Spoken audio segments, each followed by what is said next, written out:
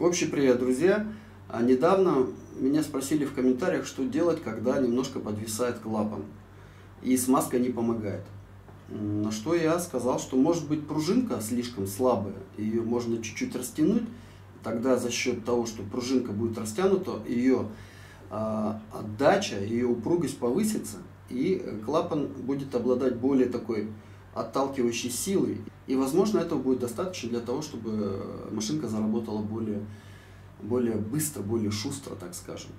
Потому что, например, я часто растягиваю пружинки на некоторых своих трубах. И своим ученикам тоже.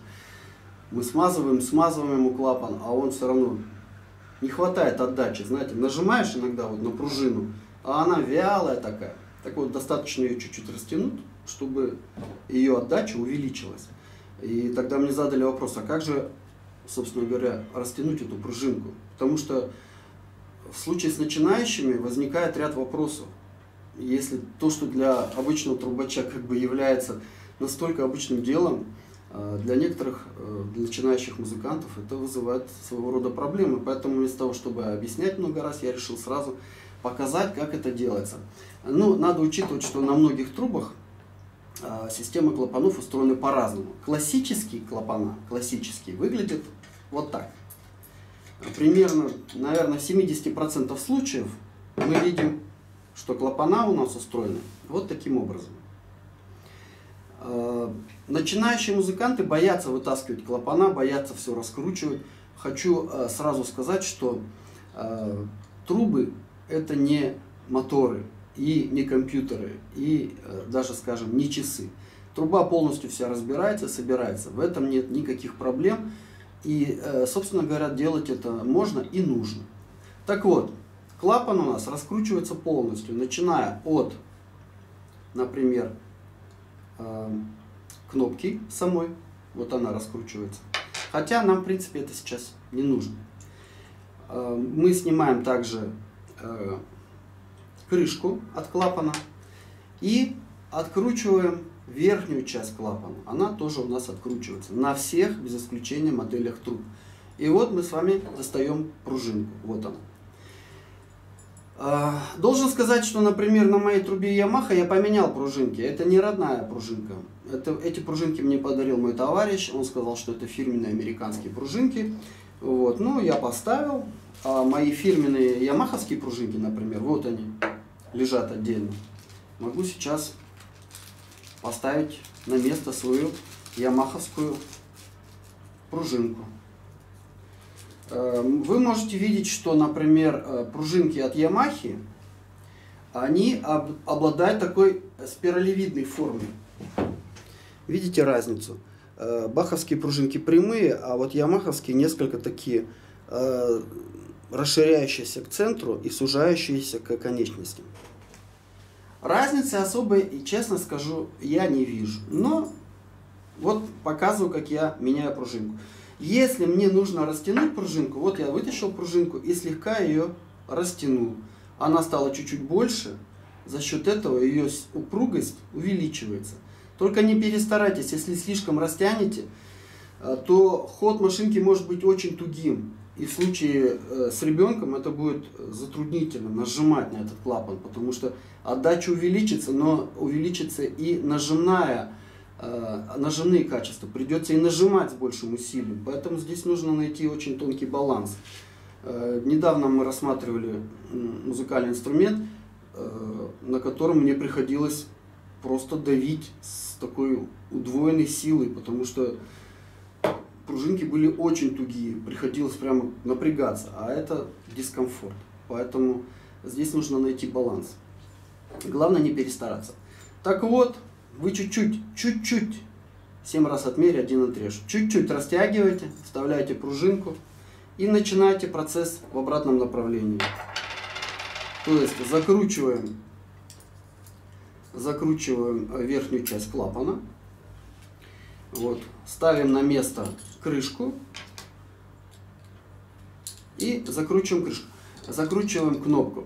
А хочу сказать, что а, откручивать кнопку нам не обязательно. Ее вообще практически никогда не нужно трогать. Только в том случае, если вы хотите поменять э, сами кнопки. Многие трубачи сейчас заказывают себе специальные фирменные кнопки. А так, в принципе, чтобы поменять или растянуть пружинку, нам не нужно трогать э, кнопку. Мы можем это делать сразу.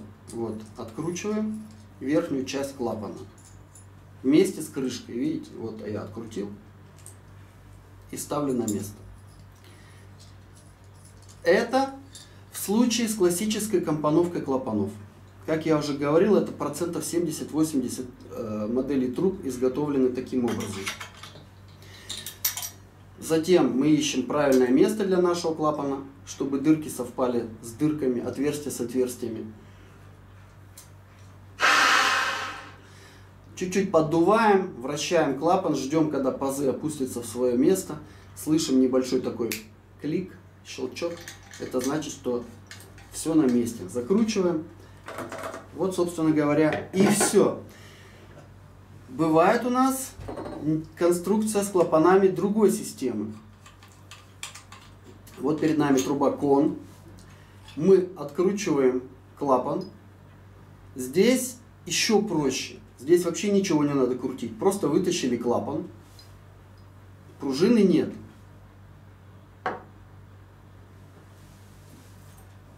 Просто переворачиваем трубу и пружинка у нас вываливается. Она у нас просто лежит внизу. Труб с такой конструкцией клапанов тоже достаточно много. Их не так много, намного меньше, я бы сказал, процентов, может 20, 15. Мне редко встречаются инструменты с такой компоновкой клапанов, но тем не менее тоже достаточно популярная э, конструкция. Ну здесь еще проще. Вытащили пружинку, чуть-чуть растянули, бросили назад, вставили клапан, нашли правильное место, закрутили. Ну, для полноты коллекции я покажу свою индийскую трубу. Она пришла с комплектом пружин.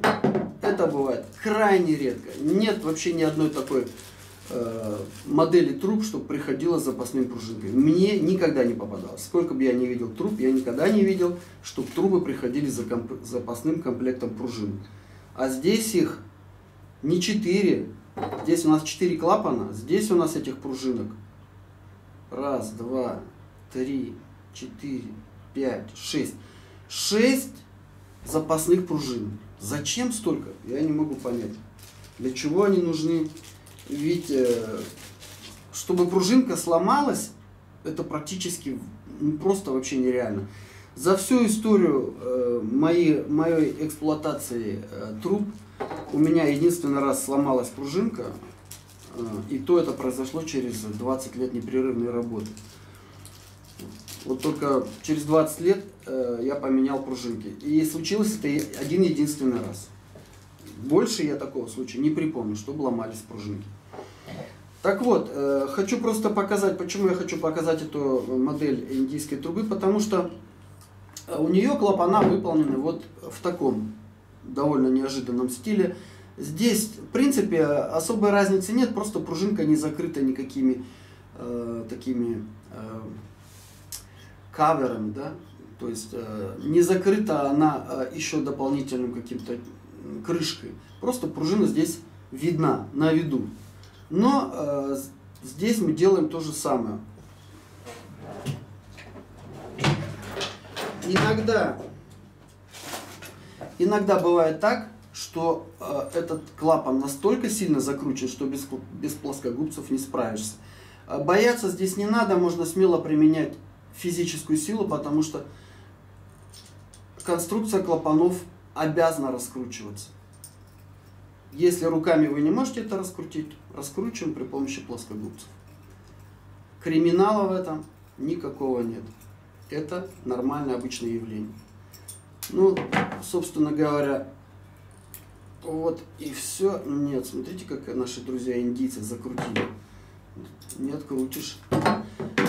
И в данном случае приходится откручивать и приходится откручивать и кнопку. Но здесь ничего не сделать. Индийская, индийская конструкция, она, видите, своеобразная. Опять же, вот та же самая система. Вытаскиваем пружинку, Если вам нужно, растягиваем. Я в данном случае ничего не растягиваю, потому что на индийской пиколке и так эти клапана слишком тугие. Опять ставим все назад. Прокладки, накладки. Закручиваем так, как было. Пружина упирается, конечно, поэтому надо ее слегка поддавить. Это нормально. Вот. Ставим на место, а, ставим на место крышку, ставим на место кнопку клапана.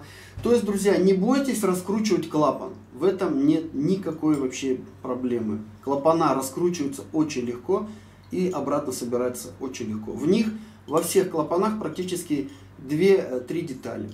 Значит, первая деталь это кнопка, потом крышка клапана, собственно говоря, пружина. Все.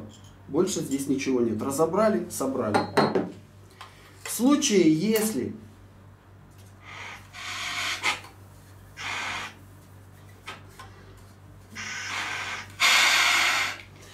В случае же, если пружина слишком упруга, а вы хотите ее сделать послабже, то э, обратный процесс вряд ли получится.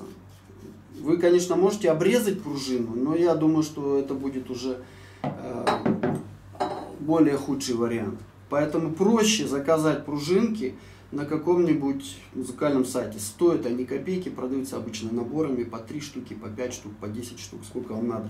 Но я думаю, 3 штуки это больше, чем достаточно вы вряд ли будете менять себе полный комплект пружинок. Этим занимаются уже, знаете, определенного рода гурманы, которые видят разницу в том, чтобы вот э, на трубу Yamaha, например, поставить э, пружинки от трубы Bach. Или наоборот, от трубы Bach поставить пружинки Yamaha или заказать какие-то специальные пружинки. Но я считаю, что это уже своего рода кулинарные изыски такие, знаете, для особо искушенных э, любителей. По, по, больш, по большому факту, на мой, на мой взгляд, это особой роли не играет.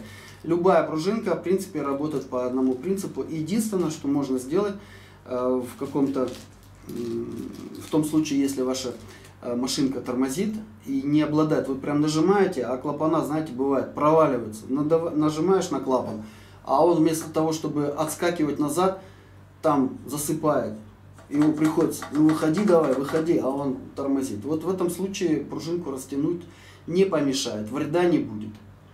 Я э, неоднократно и много раз растягивал эти пружинки.